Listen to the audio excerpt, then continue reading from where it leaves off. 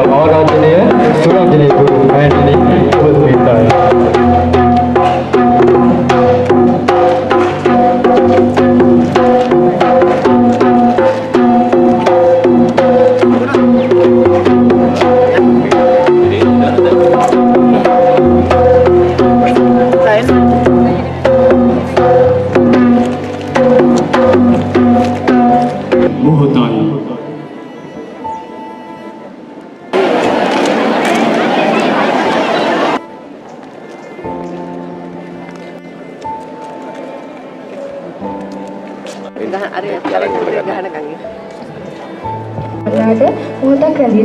industry number P D H Sugandhika ji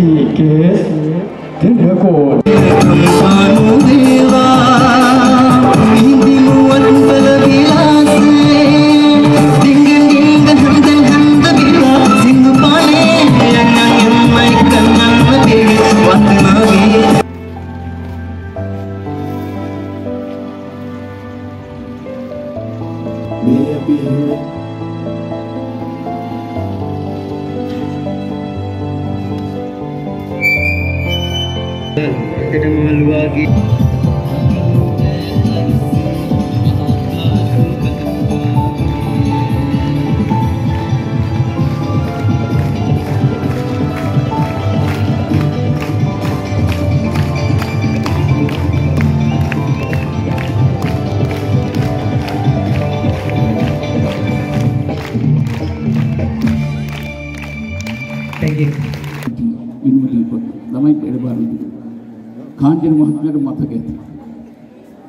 එදායින් පසු සති දෙකකින් මම මේකේ විදුහල්පති වුණා. කාංජන කුමාර ආර්යදාස මහත්මයා අවශ්‍ය ලිපි සකස් කරමින් ඒ පසුබිම සකස් කරා ඒ වෙලාවේ පාසලේ හැරවුම් ලක්ෂය නියම ලක්ෂය වෙනස් කරන්න. ඒ තමයි මුලින්ම කාංජන මහත්මයා මා දැකපු දවසේ. ඊළඟට මම එතුමාට කවදාකවත් ස්තුති කරන්න ගියේ නෑ. මොකද එතුමාට ස්තුති කරන්න ගියේ එතුමාගේ ධෛර්යය අනුව සමාජය වෙනුවෙන් දරුවන් වෙනුවෙන් කළ යුතු යුතුයකම එතුමා කරා. අද ස්තුති කරනවා, පින් දෙනවා. ඒ වගේම අපේ පාසලේ මීට මාස කිහිපයකට පෙර බොහොම දරුණු ව්‍යසන තත්ත්වයක් ඇති වුණා. මම හිතන්නේ ආචාර්ය මණ්ඩලය දන්නවා. දරුවන්ට මේ වාසිකාගාර දරුවන්ට කන්න නෑ. බඩගින්න අපි තැන් තැන් වලින් ඉල්ලගෙන ආවා ප්‍රාදේශ සභාවේ ගරු සභාපතිතුමා අපිට හාල් ලෙව්වා සම්බෝලක් එක්ක බත් කෑවේ. සමහර වෙලාවට පොඩි වතුන් කෑවා.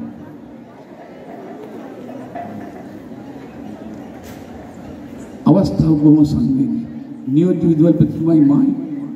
දැන් මේකේ අවසාන අවස්ථාවකදී නම් බොහොම හිර වෙලා හිට වෙලාවේ කතා කරගෙන ඉන්නවා. අපි ගුරු නිවාසෙට වෙලා අන්තිමට වෝල්ට මහත්මයා කියනවා සර් වෙන කරන්න දෙයක් නෑ අපිට. එක්කෝ නේවාසිකාගාරේ වහන්න වෙනවා. දරුවන්ගේ බඩගින්න අපිට හැමදාම බලන්න බෑ. අපි මේක කාංචනටවත් කියලා බලමුද කිව්වා. එයාගේ මිත්‍රයෙක් කාංචන මහත්මයා කිව්වේ නෑ මං කියපු විදිහටමයි මේක. අපි මේක කාංචනට කිව්වා. අපේ එපා කියන්න අපේ රස්සත් එක්ක නැති වෙයි කියලා. බය වෙන්න එපා සර්. කාංචන කියන්නේ මොකද මහත්මයෙක්. අපි සියල්ලම බේරලා බොහොම උපක්‍රමශීලී විදිහට අපි ගලව ගනින් කිව්වා. ඔන්න වෝල්ටර් මහත්තයා කියපු කතාව. එහෙනම් ගන්නකෝ දුරකථනයේ ඒ වෙලාවෙම කතා කර කාංචන මහත්මයා කතා කරා අපිට. කතා කරලා කියනවා අපි කිව්වා අපේ දුක් ගැනවිල කාංචන මහත්මයාට. වයසින් අඩු වගේ පුංචි කොල්ලෙක් වගේ හිටියට මාධ්‍ය ශාස්ත්‍රවල අතිශය දැවැන්තේ කාංචන කුමාර කියන්නේ. එතුමා කිව්වා නෑ කිසි කෙනෙකුට මං හානියක් කරන්නේ නෑ. මගේ ජීවිතේ මගේ මාධ්‍ය සංස්කෘතිය ඒකයි. ඔබතුමාලා බය වෙන්නත් එපා. ඉහළ නිලධාරීන්ට බය වෙන්න දෙන්නේ නෑ. දරුවන් වෙනුවෙන් කරන්න ඕන දේ මං කරන්නම් කියලා. එතුමා අවශ්‍ය කටයුතු කරලා දුරකථන එතුම මං හිත කීයක් දුන්නද දන්නේ නෑ. මා දන්නේ එක දුරකථන නැමතුමයි අමාත්‍යාංශයේ අදාළ අංශයට දුන්නේ. සතියයි ගියේ සල්ලි එව්වා ඉස්කෝලේට. අපිට පුදුම සතුටක් තිබුණේ. ඊළඟට මාස කිහිපයක් මේ සල්ලි වෙනකොට අයත් ලක්ෂ 11ක් ආවා ළමයිට ආහාර සඳහා. එහෙනම් කාංචන මහත්මයාණනි ඔබතුමාට ඔබතුමාගේ මව් මව ඔබතුමාට දුන් මව් කිරිවල ණය ඔබතුමා ගෙවුවා. මේ දරුවන් වෙනුවෙන් විශාල සේවයක් කළා. මේවා මම මේ වෙලාවේ මතක් කරේ නැත්තම් අය මට කවදාකවත් මේක මතක් කරන්න දෙන්නේ මේ කවුරුත් දන්නේ නැහැ. මේ සිද්ධිය දාන්නේ මායි වෝල්ට් සරුවේ විතරයි. ඒ නිසා මම බොහෝ ගෞරවයක් දක්වන ඔබතුමාට මේ දරුවන්ට ඔබතුමා ගැන හඳුන්වා දෙන්නේ මම මේ විදිහට. ඊළඟට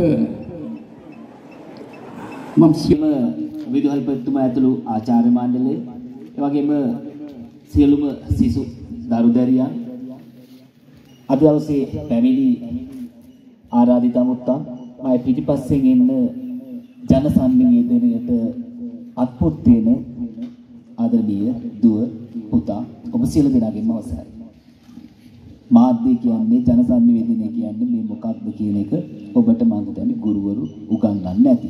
ඒ නිසා මම පුංචි විනාඩි කිහිපයක් අරගෙන යෝජනා කිහිපයක් විතරක් ඔබට දෙන්නම්. මට කියවුණා මේ අපේ ගුරුතුමිය අපි පස් දෙනෙක්ගෙන් තමයි මේ වැඩේ ආරම්භ කළේ කියලා. ඒක අහගෙන ඉන්නකොට මට දැනුනේ පුතේ පස් දෙනාගෙන් ආරම්භ කරපු එක දෙයක්වත් නවතින්නේ නැහැ ඒක දීර්ඝ කාලෙන් යනවා. ඒක තමයි බුදුදහම. බුදුරජාණන් වහන්සේ පස් දිනකට තමයි නේද? පළවෙනි ධර්ම දේශනාව කළේ. අද මොකද වෙලා තියෙන්නේ? ඒකම තමයි අකුරම්බඩ ජාතික පාසලේ මේ ඉස්කෝලේ ඔබේ මාධ්‍ය කවයටත් සිද්ධ වෙන්නේ. බොහොම ස්තුතියි ඔබතුමියට පස් දිනාගෙන් වැඩේ පටන් ගත්ත නිසා මේක හම්බෙන් හරි උනේ හොඳ මංගල අවස්ථාවක්. මට ඒකද තවත් ටිකක් කියුණා භාණ්ඩාගාරී කෙනෙක් ඉන්නවා සභාපති කෙනෙක් ඉන්නවා ලේකම් කෙනෙක් ඉන්නවා. හැබැයි භාණ්ඩාගාරේ හිස් නේද පුතේ? හිස්ද? කො භාණ්ඩාගාරිතුමා? භාණ්ඩාගාරිකතුමාගේ භාණ්ඩාගාරය හිස් වගේ දැනුණා. අර මුදල් නැතුව ඇති. අර මුදල් එකතු කරන්න තහනම්. හැබැයි මේ මාධ්‍ය ශාස්ත්‍රයේ පුතේ ඉස්සරහට යන්න නම් අනිවාර්යයෙන්ම ඕකට භාණ්ඩාගාරය යම් කිසි මට්ටමක් පුරව ගන්න වෙනවාමයි. ඒකට සල්ලි එකතු කරන්න බෑ අම්මට තාත්තට සල්ලි නැහැ තමයි. හැබැයි මම යෝජනා කරනවා අපේ ගුරුතුමියට මේ මාධ්‍ය කණ්ඩායමත් එක්ක අපේ විදුහල්පතිතුමා පත්තර පිස්සෙක් කිව්වා. මෙන්න මේ පිස්සු වැඩේම යොදාගෙන මේ මාධ්‍ය කවිය දිනු කරන්න මම යෝජනාවක් කරන්නම්. මේ අකුරම්බඩ කලාපයේ ඉස්කෝලේ පෝෂණය වෙලා තියෙන ප්‍රදේශයේ ඉන්න ගම්මාන ටික තෝරා ගන්න. උපරිම ගම්මාන 20යි කියලා හිතමු. ගම්මාන 20යි. මේ ගම්මාන 20ට පත්තර පිටු 20ක පත්තරයක් අච්චු ගහන්න පළ ඉස්සෙල්ලාම යොදා ගන්න. අකුරම්බඩ ගත්තාම එහා පැත්තේ ගම්මානවලට ඒ ගමට පිටුව පිටුව පිටුව පිටුව මේ දරුවෝ ධම්මලා ලියන්න. ආචාර්යවරු ධම්මලා ඒක සෝදුපත් කියවන්න. ඒක මුද්‍රණය කරලා ඒ පත්තර ටික ගමට විකුණන්න.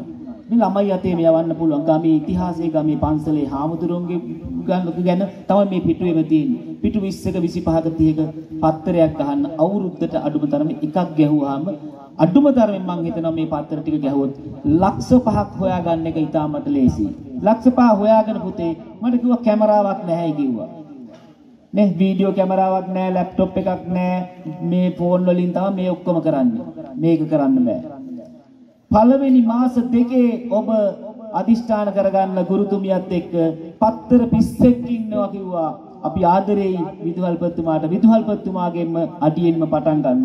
මේ ගම්මාන මිනිසුන්ගේ ජනතාව ගැන පත්තරේ ලියන්න. මේක අතීතයටත් යාවි.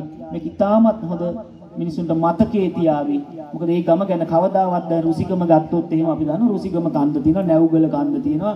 මේ මේවා හැදුන්නේ කොහොමද කියලා මේ පත්තරේට ඇතුළත් කරන්න. කොහොමද මේ මිනිස්සු ජීවත් වුනේ කියලා අර මැටි කර්මාන්තේ එහා පැත්තේ තියෙනවා හස්ත කර්මාන්ත තියෙනවා. මේ ගැන කතා කරන්න කොහොමද ආවේ කියලා මේ පිටුවේ. ඒ මිනිස්සු සියලු දෙනාම ගමේ අය මේ පත්තරේට මිලක් දෙන්නේ නැති වේවි. සමහර කෙනෙක් රුපියල් 1000 දීලා ගයි, 2000 දීලා ගයි, 3000 දීලා ගයි. උඩින් මුද්‍රණය කරන්න මාධ්‍ය කවේ අරමුදල් සඳහා ගහන පත්තරේ කියලා. එච්චරයි. ඒක ආරම්භ කළොත් ඔබට පුළුවන් කොහේ කොහේ ඉන්න කම්පියුටර් ටික ගන්න මේ සියලු මෙවලන් ටික මාධ්‍යට අවශ්‍ය මෙවලන් ටික ගන්න. මේක තමයි මගේ යෝජනාව. මොකද මේක කරන්න පුළුවන් නම් ඔබට ඉතාමත් පහසුවෙන් දැන් මම ආරා එන්න කියන අපේ භාණ්ඩාගාරිකතුමාට පොඩ්ඩක් මෙතෙන්ට. මාධ්‍යකවියේ භාණ්ඩාගාරිකතුමාට.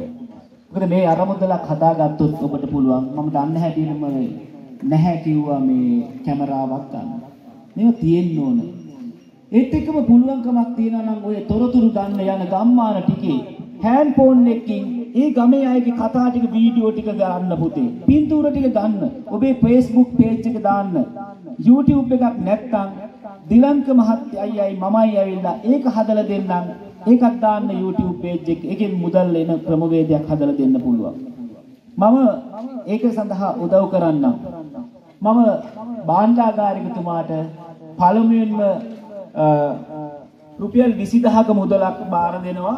මෙන්න මේ පත්තරේ මුද්‍රණය කිරීම සඳහා පළවෙනි අරමුදල ආරම්භ කරන්න කියලා.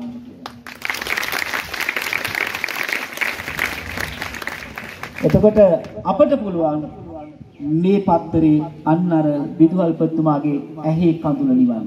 විදුහල්පතිතුමාටත් හරි මේක වටිනාකමක් තියේවි. ඔහු යන දවසකට කවදා හරි මේ කලාපයේම ගම්මාන ටිකේ තොරතුරු ඉතිහාසය ඔබ සංරක්ෂණය කරලා යාවි. ඔබේ මාධ්‍ය කවයේ කවදා හරි ජය ගනීවි. ඒ නිසා අර වගේ දිලංකල වගේ ඇවිල්ලා ඔබත් මේ වගේ කතා කරાવી. ඒ නිසා බොහෝ කතා කරලා අවසන්. ඉතින් මම පුතේ මාධ්‍ය දිවියට ඇවිල්ලා අවුරුදු 25යි. මේ 25 තුල ගවේෂණාත්මක මාධ්‍යවේදී සම්මානය ගත්තා. පරිසර සම්මානයේ රාජ්‍ය සම්මානීය ඊයේ පෙරදා කෙනුත් මම තමයි ගත්තේ. තොරතුරු දැනගැනීමේ පනතේ ලංකාවේ පළවෙනිම සම්මානෙ ගත්තෙත් මම. හැබැයි මං ඉන් එහාට මිනිස්සු වෙනුවෙන් වැඩ කරපු මිනිස්සෙක්. නිසා මම ගෙවල් විතරක් හදලා තියෙනවා 161ක් පුතේ මේ මාධ්‍යයේ. හෙට මගේ 161 වෙනිගේ විවෘත වෙනවා බකමූණේ. මේ තමයි මම ලබපු ජයග්‍රහණය. ඒ නිසා ඔබටත් මම ආරාධනා කරනවා අපිත් එක්ක එකතු වෙලා මේ ගමන යන්න එන්න කියලා.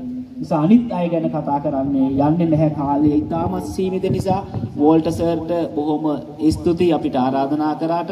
පස් දෙනාගෙන් ආරම්භ කරගත්ත ආදරණීය ගුරුතුමියනි ඔබට මේක සමහරට පස් දෙනාම නිවන් කියේ නෑනේ කෙනෙක් දෙන්නේ. හැලෙයි මේකේ. මම දන්න මේක හැලෙන්න යන්නේ නැහැ. හැබැයි හැලෙන්න එපා පුතේ ගුරුතුමියත් එක්ක එකතු වෙලා මම මේ කියපු යෝජනාව කරොත්. ඔබට YouTube එක කරන්නේ කොහොමද? එතකොට මේ පත්‍ර ටික ලියන්නේ කොහොමද? මේක ගෙනියන්නේ කොහොමද කියලා වෙනම වැඩමුළුවක් කරලා දෙන්නම්. එතෙක් මට අවසර දෙන්න මේ කාලය හින්දා. ඔබ සියලු දෙනාටම බොහොම ස්තුතියි. තෙරුවන් සරණයි.